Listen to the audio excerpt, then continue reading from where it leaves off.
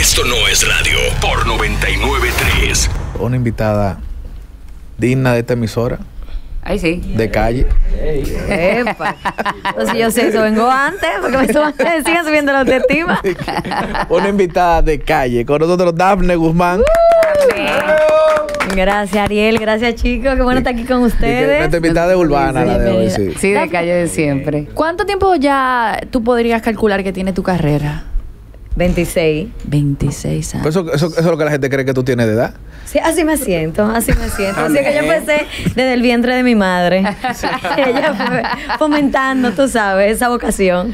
Ella va a ser tipo Tania, que tú ves a Tania Weiss y siempre está como fresquecita, Sí, como, bella. Nueva, recién levantada. Dafne, nosotros te veíamos en AME Canal 47 cuando tener una exclusiva era algo increíble en ese tiempo. Todos los artistas del Festival Presidente, Dafne estaba ahí entrevistándolo, desde Maná, desde Enrique Iglesias, artistas también internacionales. Eh, ¿Cómo lograbas todo eso? Eh, Oceando, llamando a la gente, un contacto te lleva al otro.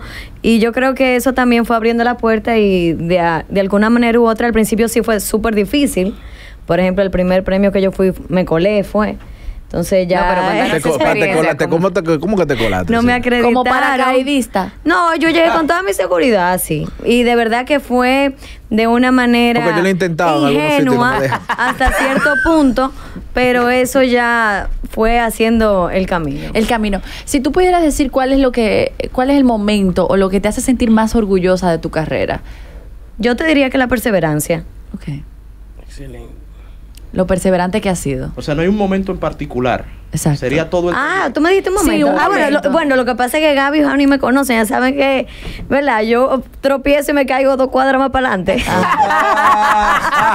Pero vuelve aquí, vuelve Claro, aquí. qué buena está esa. Qué buena está Yo esa. entendí que tú me dijiste. No, está ¿Cómo bien. tú Ya. te definías cuál es tu. No, pero está bien. ahí.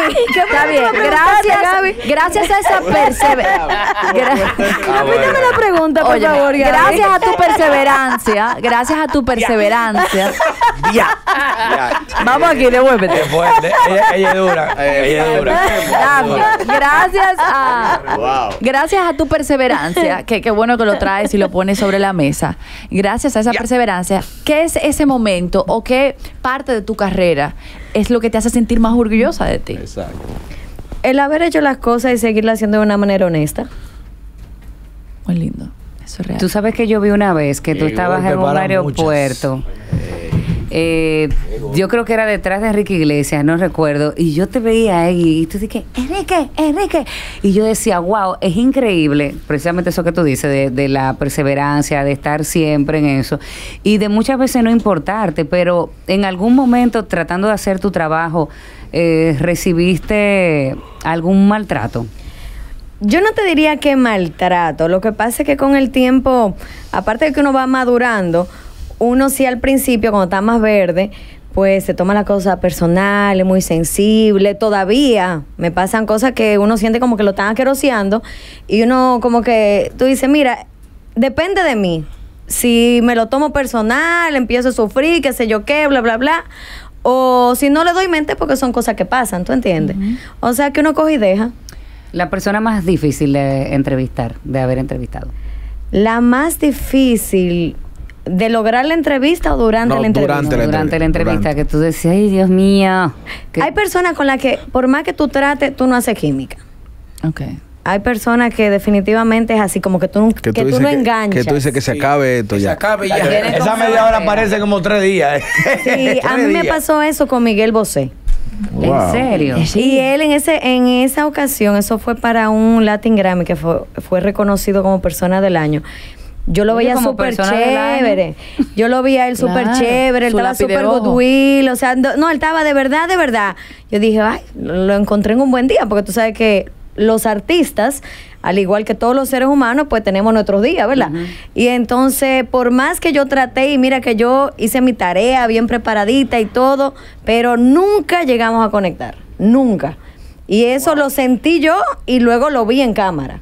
O sea que fue, tú sabes, como que uno Fue dice. "Cónchole". Él estaba en otra frecuencia ese día. Exacto. Sea, eso pasa a veces. Estaba en base. Daphne, yo te he visto eh, echar la batalla y tengo que decirte que antes de yo comenzar ya te veía y creo que para mucha gente eres referente de qué poder hacer, cómo hacerlo distinto, porque siempre has sido, siempre has tenido tu propia línea y eres muy original en tu trabajo. Ay, gracias, gracias. Pero también te han aplaudido, pero también te han criticado mucho. Y hay una frase que dice que todos somos al final seres humanos tratando de lograrlo, con el mismo corazón, con los mismos sentimientos. ¿Para ti ha valido la pena? Yo entiendo que sí, porque duermo todos los días con mi conciencia en paz, tranquila. Eh, no, no pienso que... ¿Cuál? Repíteme otra vez la pregunta. Ella va a trompezar ahorita. No, que, quis- que si con Ahora todas- es tres esquinas. Ella, ella va a trompezar. no, ya yo me voy a agarrar de ahí. que si con, con todas las críticas, las altas y bajas, que si- yo siento que estoy cuando hago la, la entrevista de traducción, que la digo en inglés, yo pensé, en mis- Asá. yo pensé en, en Miss Universo que le hacen la pregunta en, inglés. inglés, y aunque sepan el inglés, le, le piden al, al traductor para ir pensando. Ok, qué es lo que van a te la voy a reformular. Que si con todas las altas y bajas y las críticas, cuando lo pones en una balanza, ha valido la pena, ha sido más lo bueno. Claro, claro que sí, claro, claro que sí. Porque es que cuando uno asume la responsabilidad de, de estar en el medio, de convertirse en figura pública, uno sabe, y ya que tú mencionabas ahorita a Tania eh, en otro contexto, uno tiene que saber que tanto para lo bueno como para lo malo, tú tienes que dar la cara y asumir que eres repu- eh, figura pública, ¿entiendes? O sea que- Desde, pero desde cuándo lo asume Dafne, te lo y, y creo que es muy válida la pregunta de Gaby porque uno, como tú mencionabas, entra muy verde a este negocio y hay cosas que uno va entendiendo con el tiempo y aún teniendo muchísimo tiempo, tú dices, pero ¿por qué? Ya te frustran, ¿verdad? Claro, todo no es miel sobre hojuelas y eso se sabe, pero hay cosas personales que se quieren manejar de manera personal, pero el medio es como que te obliga y te empuja, que nos- nosotros queremos saber tal o cual cosa. Y, y traigo a colación a Tania Nueva Vez y a Yagna Tavares, que manejaron sus temas de divorcio con altura y con un nivel increíble y sumamente aplaudible, o sea, como dos damas, y no hablaron más del asunto, o sea, tú has pasado por alguna situación que tú no quieras hablar y que te veas forzada a hacerlo. Sí, cuando me preguntan algo, eso me lo dijo Gilberto Santa Rosa hace muchísimos años. Y yo lo, le digo, yo hay algo que tú quieres que no te pregunte. Y dice él, no, tú me preguntas lo que tú quieras. Ahora, yo te voy a responder también lo que yo quiera. Claro. Entonces, no, yo, yo lo cojo chilling, yo lo cojo chilling, porque dime, yo no me puedo estar martillando la vida. Claro. Y, y- y hablas de perseverancia, hablas de joseo, ¿no? De intentarlo, de trabajar, de esforzarse, pero todos necesitamos esa figura que te dé la oportunidad. Eso En es cierto. En algún momento o en varios momentos de tu carrera. En tu caso, ¿quién es esa persona que tú dices, gracias a ella o a él, yo pude lograr tal o cual cosa? En mi caso fue Aracelis Melo. Ahora que veo el estudio que se llama Hochis, Hochi, tú sabes, o sea, para mí Aracelis fue mi gran mentora, o sea, fue la persona que me miró con otros ojos. O sea, yo recuerdo cuando yo fui a ese casting que tenía 17 años, que tenía 70 libras de más que la que tengo ahora. Y yo estaba en el colegio, yo hasta me quemé en una materia en el colegio porque había un viaje, una cosa ahí, me quemé para ir ese casting y de verdad, de verdad, yo no tenía el perfil de una presentadora de televisión. Pero ella confió en mí y me dio esa seguridad. ¿Vio algo? ¿Y tú has hecho los, lo mismo? Sí, yo entiendo que sí. O sea, la- con personas que han trabajado con nosotros en, en la oficina, en los diferentes proyectos en los que nos hemos involucrado, eh, me han dicho, mira, muchísimas gracias, eh, de verdad, te, te lo digo desde hasta un maquillador, que me dice, loca, yo te empecé a maquillar a ti y tú no te imaginas, y me llamó con una emoción y una cosa, o sea, que él estaba feliz, él se sentía, loca, me llamó tal gente para que lo maquillara, de verdad, gracias, Dafne, o sea que son cositas, es una, una sencillez, por ejemplo, en lo que te estoy diciendo, pero a la hora de la verdad yo tengo que estar muy agradecida porque las personas que, que han trabajado conmigo, pues también han sido agradecidos. Dafne, ahorita hablábamos de las personas que tú has entrevistado. Uno es joven y uno, por más profesional que uno es, no se quita lo fanático. ¿Hay una entrevista alguna donde el fan le haya ganado al comunicador? El fan, bueno, yo soy súper fan de Ricardo Montaner, eso lo sabe, yo creo que eso sale hasta en mi Wikipedia. Yo, no, no, no, no, no, no, ahí, Donde- a mí, a- ahí Llega un momento en que el fan te gana. Ese es mi regalo, tú ves, y, y con esa entrevista de Enrique Iglesias, ya con el paso de los años, tú sabes, eh, han pasado cosas en la vida de él y lo que sea, como que se me ha quitado, no la admiración, sino que como que ya no lo veo con ese grupismo. O la capacidad de asombro, Eh, quizás. con la capacidad, no, no, yo era fan, fan, fan, fan de él. Eso que dice Honey, sí yo lo hice más por grupismo que por periodista, ¿tú entiendes? Pero a nivel de yo admirar que sea mi artista favorito y que él lo sabe y que me hace el coro en un concierto porque él sabe que yo me voy a sentir bien. Y Daphne, qué sé yo cuánto, bla, bla, ahí sí, Enrique Iglesias es, es el artista que, que me saca a mí de, de la faceta de periodista. Que te hace fan. Mira, esta pregunta la manda Casals. No, yo no tengo ni tengo el celular. Oye, oye, dime, Habla claro, no, dime, de que me preguntan aquí en las No, no no me usa Sí, radio. El celular, sí. Redes. No, no, te no, pregunta no. tal y tal. Ya- ya tuve por dónde viene, Gaby, ya tuve por dónde viene, No, no, ¿verdad? Esa no la sabe. Yo no sé. Mamá, dime. me vas a hacer-. Mira, era. Señores, tranquilo, no pasa nada. Tú sabes que yo no tengo. miedo. Mira, eh, tú comenzaste muy jovencita. Y me imagino que entrevistando todas esas estrellas, de repente alguna te picó el ojo, te invitó a comerte un helado, eh, a beberte un trago, a pasar por su habitación. ¡Ey! Eh, muy bien, excelente pregunta. ¿Tú ¿Te sabes que- pasó o Tú no? sabes que no, a, pa- a- de que a pasar por su habitación o cosas así, eh, full, eh, hacia los Fokker, un buen dominicano, no. También es culpa de Santiago eso. a los Fokker, yo diría a los Fokker. No, pero de que te hayan coqueteado, que me haya pasado. Mira, tú que te has dado cuenta y que es la mejor evidencia que todavía mi cerebro está medio durmiendo. Eh, me pasó y yo me di cuenta después. Ah, ¿con porque me, po- me pasó con Beto Cuevas. Que te pidió el número. No, que no, entonces estábamos, haciendo la entrevista y cuando eso estábamos haciendo de calle Qué lamento, el programa de diache. y yo Con su pollina. Ajá, y yo lo fui a buscar, él, estaba en una emisora dando una entrevista e iba para el ensayo. Entonces yo lo fui a buscar a la emisora y yo andaba, y él se montó en el carro, qué sé yo qué, y empiezo yo, dije, bueno, ya se siente la brisa, qué sé yo cuánto, dije, relajando por Beto Cuevas y lo buen mozo que Sí. es. Y yo no me estaba dando cuenta que él también como que me estaba tirando mi, mi cosita. mi- y me dice el productor, pero vieja, ese tigre te estaba montando a la clara, pero tú no te diste cuenta. No, y yo, ay, yo no me gracias di a cuenta. Dios, no. Y cuando me enseña él el video, pero mira, hermana, pero tú eres idiota porque que estuvo con tu manejadera y tu cosa. Y digo yo, ah, bueno, es que imagínate, yo no puedo manejar. Yo soy como los hombres, y perdónenme los caballeros que están aquí presentes. Yo no puedo comer chicle y al mismo tiempo. Entonces yo con Beto Cueva al lado, Camina. pendiente de la pregunta, manejando que un tapón que no me no, Ah, no. tú sabes. Pero manejar y enamorarse es lo que un hombre sabe hacer al mismo tiempo. Pero entonces nada más ese, ese caso. Me pasó eh, con él y me pasó con, con Cristian, con Cristian Castro. Ah, no, pero ahí Dios te protegió. Cada Sí, momento.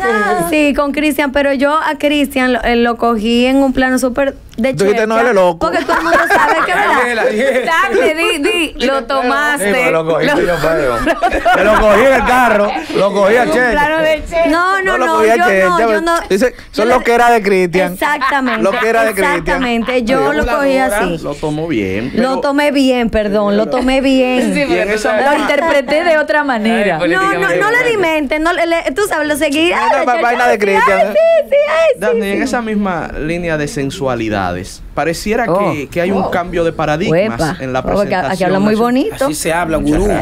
Pareciera como que hay un nuevo paradigma con las presentadoras, con, con- con jóvenes que hacen el trabajo que tú ya eres un referente en la comunicación nacional, pero uno a veces ve que hay una insistencia en el mostrar, más que en el bien hacer. Como que eh, el, el tema de la imagen, el, El tema de verse, del, del currículum, el cuerpo, Currículum. todo- currículum, el cuerpo y todas esas cosas están eh, en primacía en este momento. Me gustaría saber tu pensar en ese sentido y si crees que tendrías las mismas posibilidades si tú iniciaras hoy en estos nuevos tiempos a hacer el trabajo que haces. Si yo empezara hoy a hacer el trabajo que yo estoy haciendo, me encantaría empezarlo hoy, pero con la experiencia que ya tengo. La historia fuera otra. Otro gallo cantaría. Pero no, cada quien es libre de hacer lo que quiera y yo no soy nadie para, para juzgar las decisiones de cada quien. Yo creo que el único que tiene esa potestad es Dios. El único Sí. que tiene para... Dafne, pero la pregunta de, de- del gurú, que yo creo que es interesantísima, porque Era un acabas de... sí. No, y porque ella acaba de decir que en su momento, cuando inició, ella no era como el target No, no era de presentadora. O sea, eh, El empaque. lo que estaba establecido, que también me sorprende, porque yo creo que ahora es como más difícil a nivel físico. Yo creo que, todo. que en ese tiempo también la barra era diferente. Sí, no, Sí. Yo- yo creo que ha o habido- Sí, sea, en ese tiempo el talento tenía un, un chisma de peso. que Tenía- ahora. Esa es mi Exactamente. percepción también. Entonces lo que él se refiere es como Como que si- si tú hubieses arrancado ahora, tal vez como tú mencionaste que tenía más peso, o sea, más tenía más libras, eh, que donde en esa época se miraba más el talento que ahora, piensas que te hubiese ido igual. Ahora. Con, con, toda, con todos los paradigmas, como dice el gurú, que han cambiado en las presentadoras. me hubiese ido mejor. Entiendo yo. me hubiese ido mejor. Porque Ay. la verdad, la verdad, eh, yo, modestia aparte, he guayado mucho la yuca. O sea, yo, y eso es algo también que fue una muy buena zapata. Fue una muy buena zapata porque como yo no tenía los atributos eh, típicos que se buscan para una presentadora de televisión, que, que fuera alta, que fuera un mujerón, que tuviera un cuerpazo. Yo me imagino que a ti también te pasó lo mismo cuando tú eras gordita, ¿tú entiendes? Lo yo me sentía, yo estaba buenísima. yo, esa, no, yo gustaba muchísimo, esto era increíble. A mí, mucha gente en la calle me dice, tú me gustabas más cuando tú eras gordita, qué sé yo cuánto, porque que esos buchitos, qué sé yo qué. Y yo como no estaba tan pendiente de eso, porque yo siempre he sido muy ingenua, muy, muy ingenua, yo estaba muy, muy en lo mío, muy enfocada en lo mío, hasta que sí es cierto que después que rebajé, que me hice una lipo y todo lo demás, ya la gente me empezó a ver con otros ojos. ¿Tú sientes Y- que eso te, Te te ayudó? Me ayudó, me ayudó, claro, me empezaron, porque que definitivamente la televisión es imagen. La Sí. televisión es Y las imagen. redes también son imágenes. Sí, pero en ese momento no había redes. ¿Cómo te ayudó? Porque a veces Porque, dices, pero sí, te me digo, ayudó. ahora, ahora funciona en las redes, te digo.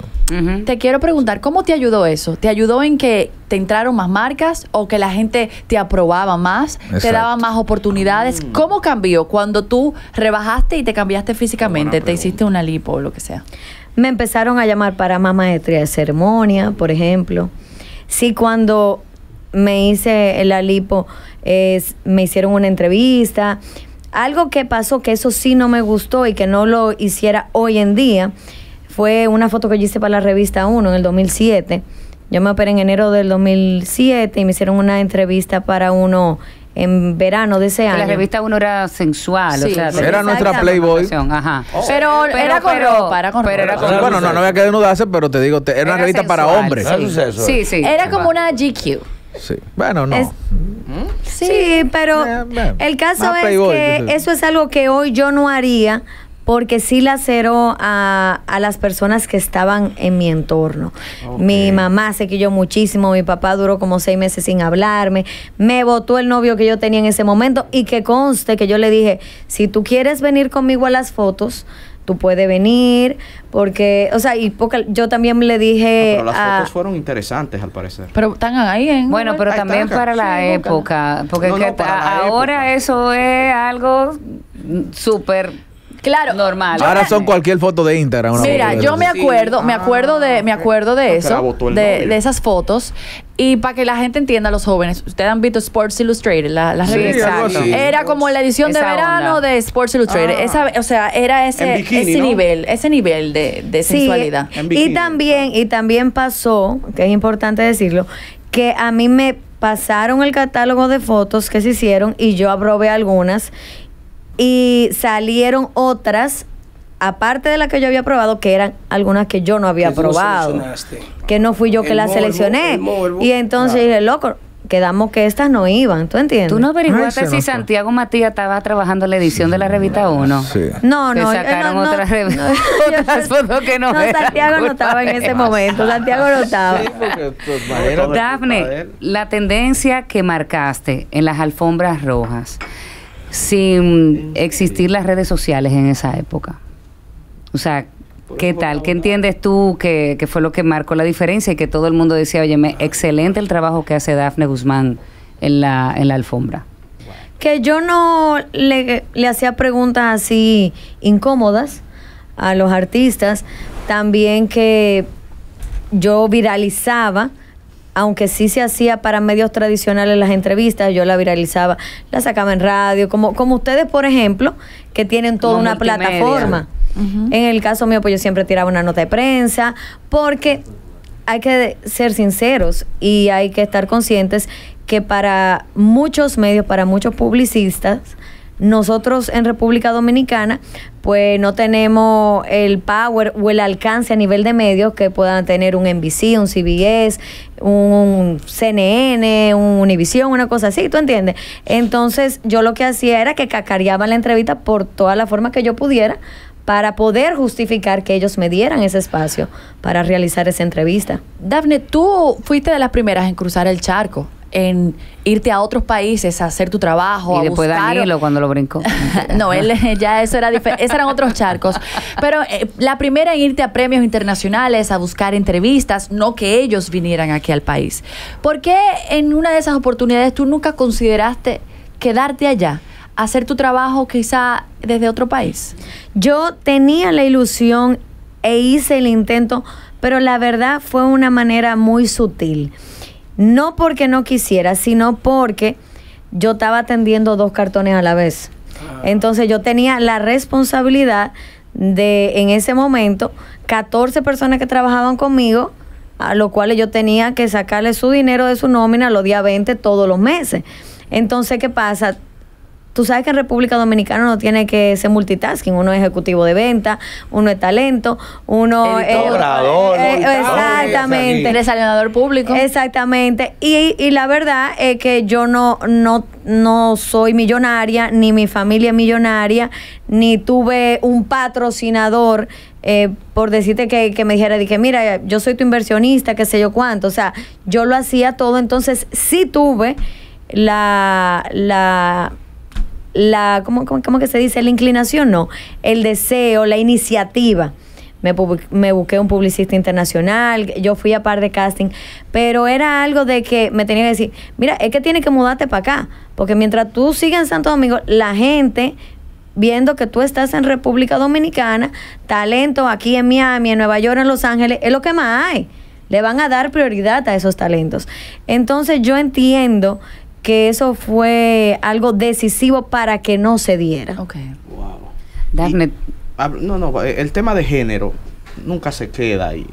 Me gustaría saber tu, tu experiencia.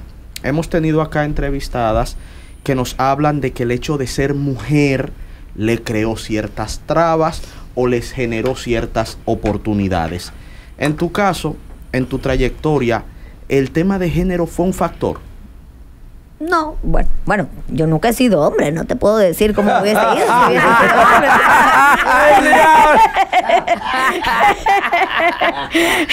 no sé. Es válido. La buena, muy buena. Bárbara. Ah, bueno. Mira, y tú sientes Eh, la que... mejor respuesta que yo he La escuchado. mejor respuesta. La mejor respuesta que yo he escuchado. Dafne, ¿tú sientes que a ti se te ha reconocido en la justa medida que tú te mereces? Yo te diría que yo he sido una persona muy querida, sí, muy querida, pero también es una, una cuestión de que es responsabilidad de uno, o sea, es como todo. Yo me acuerdo que, que Cesarito Suárez, que, que es muy amigo de Joni mío, me decía, Dafne, mira, cuando tú llegas a una entrevista, tú llegas con un aparataje, tú llegas con dos cámaras, con 20 mil luces, qué sé yo cuánto, porque a la gente le gusta ese bulto. Aunque a la hora de la verdad, tú nada más necesitas tus dos cámaras y el lavalier y una buena luz, tú llegas con todo tu bulto, qué sé yo cuánto, que el productor te esté ahí, qué sé yo cuánto, para que te den, para que tú tengas ese feeling, ese brillito, qué sé yo cuánto. Y es cierto, ¿eh? ese fue un consejo que, que me ayudó mucho. Pero eh, yo te diría que yo sé que he podido llegar más lejos y no lo he hecho y que he perdido buenas oportunidades. Y que a lo mejor han sido por mal manejo mío o por lo mismo que te he dicho, que, que me enfocaba mucho, porque ya no, ahora yo estoy mucho más chilling, me enfocaba mucho en el día a día, tú sabes, y en el tratar de cumplir con los compromisos del día a día. Entonces, como que nadie me ha visto con, como con ese brillo de celebrity, tú sabes, de que, ay, llegó Daphne, que se yo Pero te cuándo, bla, bla, gustaría bla". eso. No, en este momento no es que me gustaría, porque yo no tengo ese complejo. Ni ha sido algo de que, de que yo quiero que me, que me tiren una alfombra roja cuando yo llegue, ni mucho menos. Sino que sé que si me hubiese manejado diferente, Sí. mira, eso tú lo ves hasta en las mismas redes sociales. O sea, mira la cantidad de seguidores que tú tienes, Joni, mira la cantidad de seguidores que, que tú tienes, Gaby. O sea, yo he- es algo que he aprendido a manejar con el tiempo. Yo he sido siempre muy tradicionalista. Y ahora que yo he tenido que forzarme, que me pongo alarma en el celular para subir un post, para que sé yo qué, porque sé que si no, me voy a quedar atrás, como, como pasó. ¿Entiendes? O sea, que por no ponerme la pila en su momento, pues me quedé un chin atrás. Dafne, hablabas de ese novio en su momento por las fotografías que terminó contigo. Ay, no, muchacha, ese hombre se me apareció con la portada del Litín Diario en mi casa. ¿Y cómo fue eso? y me dice. Álvaro. ¿Tú crees que estas son formas? Así mismo. Háblame ¿Tú de crees esto. que estas son formas? me- no, él se me apareció muchacha y me dice, él, yo no quiero esto en mi vida. Esto no es lo que yo quiero en mi Qué, qué vida. estúpido. Y Señores, yo, busca "Ay, la pero foto. mira, Sí, yo pero no la eso, eso va a ser para ti solo toda la noche, pero Ay, no, Eso es tuyo, papi. Deja esa vaina. No, señores, Gaby me, me enseñó las fotografías. Manga larga en esa vaina. Cómo cambian los tiempos. Sí, ¿verdad? O sea, lo- esas fotografías hoy Son súper decentes. son súper decentes. Nada vulgar. Y en su momento te crearon un problema terrible. Sí, pero yo también lo hice como para tripearme yo misma. Yo lo hice como para darme ese gusto de que cuando, cuando yo era gordita tenía que andar con corsé, con ropa negra, con ropa que me estilizara, para truquearme. Entonces, como que yo, ay, déjame darme el gusto de salir chula. Y así. también- no, tú lo es, hiciste es porque- el efecto normal. Pero si el mayor se su cuadrito, él tiene que andar sin camisa todos los días. Ariel. ¿Entiendes? Él tiene que andar sin camisa todos los Y días. fue porque- algo que también lo hizo Yandra en su momento. Porque como nosotros Para con- demitificar el tema de que soy muy niña. Que soy niña. Ajá. Para quitarse el disfraz de. Y quizá ese título de. Miley Cyrus lo hizo también. También, como Pero que. de forma se- drástica. Sí, porque a Yandra también le pasó eso. Que la No, gente. no, la ella, ella le subió tres una rayas para no bajarle cuatro. Miley Cyrus dijo, dijo, mire, Hannah Montana. No, pero ya Miley se, pero ya ella está como porque Balanceada. no, no, ya, ya se, se notó. además que bendita artista es No, no, se Sí, mostró sí. eh, que en el tiempo eso fue simplemente una estrategia de mercado. Sí, que se pusieron en contra de que ella viniera y todo con su concierto aquí. pues, No fue, un ridículo. cambio, no fue un cambio de moral, simplemente eso fue una estrategia de Sí, mercado. sí, lo, hi- como te comenté, lo hizo Yandra en su momento, que Sí. salió en los cuerpos hot, porque todo el mundo la veía como topi topi. Sí. O sea, al final yo creo que tú tienes que de repente lo que la gente piensa que eres, porque todo el mundo te todavía, me imagino, que tiene en su corazón que tú eres la de Ame, la joven, te ven como tierna, porque eso es lo que Eran siempre- estas. No, no, Y, No. y Andra Ah, no. pues- todavía, porque es una cuestión de personalidad. Porque esta- claro. eh, ni, ni siquiera llegaban a esa, la, la, la revista 1. Eran fuertes, era- eran fuertes, o sea, la revista uno. No, es verdad. En su momento lo eran, pero o- al día de hoy, Dafne, luego de, de eso, ¿algún otro noviazgo eh, o tal vez la pareja que hayas tenido entendía tu trabajo o le molestaba algo o, se, o te sirvió de complemento? Ese novio, el que me votó, no le gustaba mi trabajo, pero me conoció en él. Me gusta. me, me co- me conoció en él.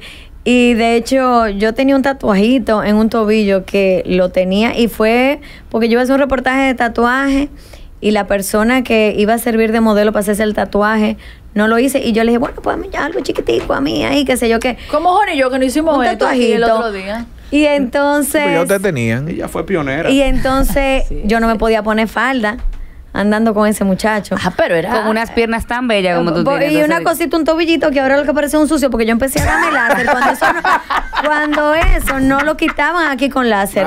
Yo tenía que ir para Miami a quitarme, y muchacha, para quitarme ese tatuaje cada vez, cada sesión eran 150 dólares. Estoy hablando en el 2007. Mira Casal preocupado. Casal, te va a quitar el tuyo.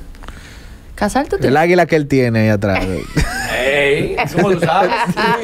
Ay, ¿Cómo sabes? ¡Ey, ey, ey! ¡Peligroso!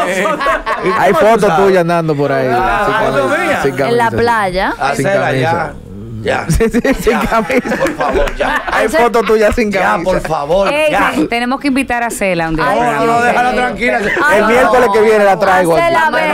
Marcela, no. te esperamos. Porque No, si de no. crush vamos a hablar, ella fue un gran crush No, no. de todos Con sus Acela artistas. hay un libro de eso. No, no, no, por favor. Sí. Ah, decide, pero de ella. Y déjame De decirte que ella. Acel habla muy bien de ti. Ella me no, No, es que él es su crush. Déjala ya. No, porque no, no, no. Esa señora hay- tiene edad para ser mi madre. Hay ¿Qué pasa? amigos que No, pero ¿y qué lo pasa? Pero Acela tiene el alma joven. Mira, Eh, eh. Daphne. A ver, eh, aquí también. Mira, a veces uno no sabe cómo reaccionar en, en este Tú programa. estás lindo hoy. Tan bella, ese es el cariño. No, ustedes están todito impecables. Ey.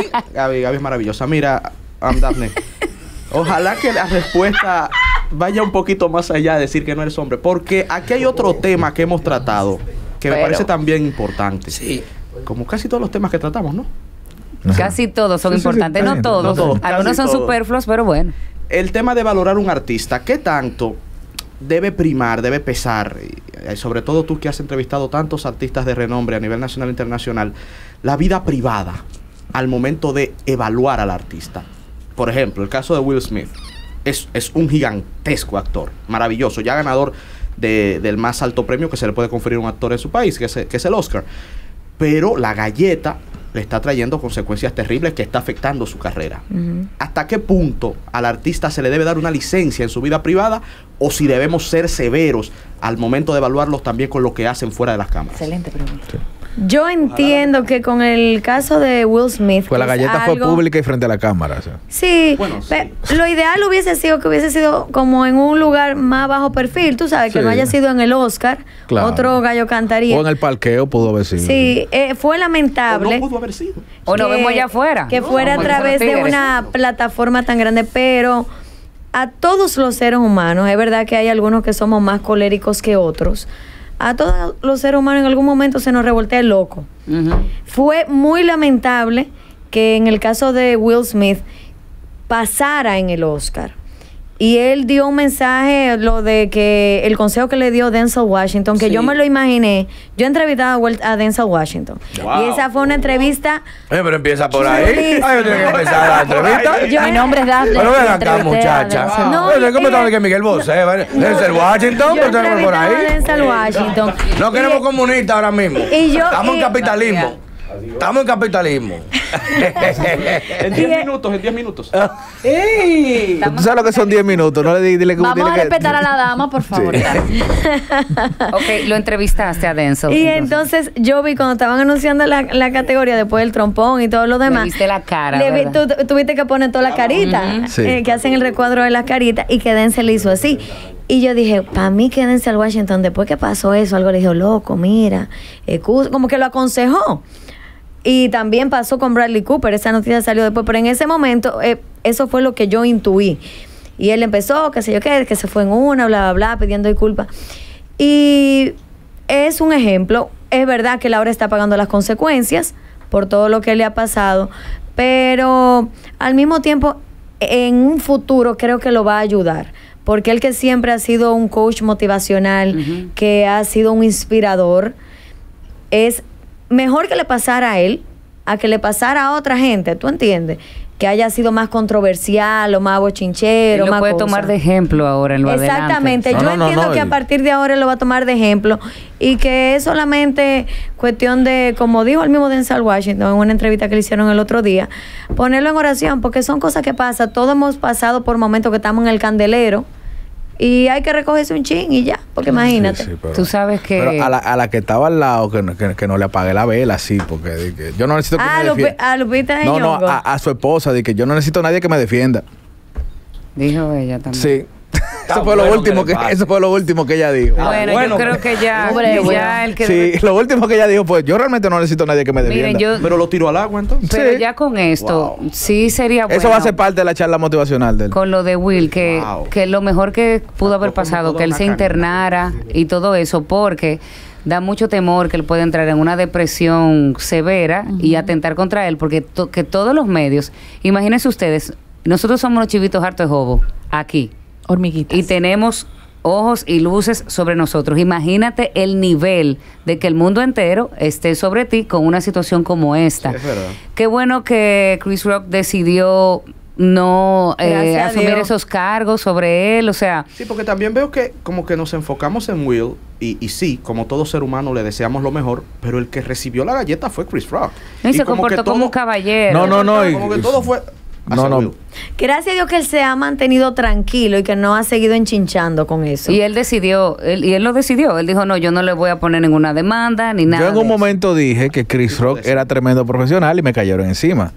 Pero para que te den una galleta en público, no te quede igualito. Sí, sí. Tú Sí, tienes que, tú tienes, elegante tú tienes que ser un bacano. Muy maestro. elegante. Sí, él se manejó muy bien. eh, y señores, para... Tú tienes que ser un No, no, bacano. maestro. Mis respetos para Chris Rock. Sí, y para aclarar algo también, un- porque la gente insiste en que le estaban haciendo bullying a ella y la gente insiste en la calvicie y la gente insiste sin investigar. Chris Rock comparó a esa mujer con una heroína. Con, Porque con alguien que se- sí. te voy a decir una cosa. Ese personaje que hizo Demi Moore ha sido uno de los personajes De icónicos y más importantes y de empoderamiento femenino que ha existido Y fue muy- en la historia del cine. Y para la carrera de Demi Moore fue muy importante Fue un porque boom. una mujer que era considerada y aplaudida por su belleza Sí. decidió eh, raparse la cabeza y mostrarse más como actriz que como sex symbol. Señores, y además lo que tuvo que asumir ella físicamente. Entonces, para que ustedes se establezcan la, la- la comparación que él hizo, el símil, él no le dijo, ah, pues tú no tienes cabello porque tú... Ey, tú eres, dijo- tú eres la que tiene que ir para la segunda parte de Nos esta vemos película. en Yeyen, le dijo. Sí, claro. Sí, pero es lo que te digo, pero es todo como tú lo tomes. Sí. A lo mejor tú me puedes dar un insulto grandísimo, como me ha pasado con Gaby, que me ha hecho dos preguntas y, y que yo he estado pensando en otra Pero yo cosa. no te insulté, mami. No, no, no, está Ah, no, porque bien. que, que hay gente que, la, que lo No, pero sí, ya Will Smith, eh, ya Chris Rock, es la segunda vez Claro. que, que pone a, a Jada Pinkett en esa situación y hace referencia a su calvicie. Y aunque sí lo haya puesto de una manera muy bonita, que de mi Moore, que el personaje que todo lo demás, para Will Smith eso fue una ofensa. Y, y me imagino que debe No, ser para como- No, no, no, para ella. pa- y pa- para ella, porque estaba muerto de la risa, ella lo miró mal. Ella porque lo miró, él se rió. No, no, no, al principio, pero se fue quillando porque hay veces que tú te estás riendo, pero en el fondo a ti se te va subiendo la espuma como la cerveza. Y Un impulso. La verdad, la verdad que, mira, yo lo, con Will Smith, a mí me da pena que haya pasado eso en el Sí, porque además es que ganó su Oscar. Sí, era su Entonces noche, noche. Exacto, a mí, a mí me da pena que se le, ha- que le, haya, le haya quitado el brillo a ese momento tan especial y tan esperado por tantos años. por su vida. Exactamente. Por eso fue una lástima. Por otro lado, fue bueno para que vean que muchas familias que se muestran perfectas no lo son, eh, porque esa familia de Will de verdad que tiene muchísimas situaciones, sus hijos que han estado en el foco público y Pero todo es, eso. es la de Will. ¿Eh? Es la de Will y la vemos como perfecta. Pero eh, quiero Eh, que, se que han no- mostrado como los Obama, More. No Claro, quiero sí. que cerremos esta entrevista sin primero agradecerte por estar Claro. aquí con nosotros, Dafne. Ay, gracias, señor. Yo, yo sé que yo debía haber venido ayer. Yo sé que debía haber venido ayer. Ay. Y también preguntarte, Dafne, ¿cómo podemos seguirte y apoyarte en tu carrera? Hoy, mañana, ayer y siempre. Arroba es la, Daf- la tercera Daf dafnada del día. Y apenas que hora La es. tercera La dafnada del La día. dafnada del día, sí. Arroba Daf Guzmán. Arroba Daf Guzmán. Gracias, muchachos. Lo quiero mucho. Gracias a ti. Nosotros retornamos mañana, Tolentino. Algo Márquez. ¡A siete! Otra entrega más de esto no es ¡Radio!